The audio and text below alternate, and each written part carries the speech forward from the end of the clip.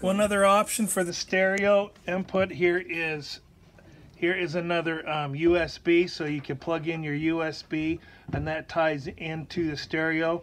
And all you do to switch around is you just push the source button and you can see where it's going to go to. You know no device there's a USB so you just scroll through aux 1 your tuner and then your stereo will play with whatever input you're at.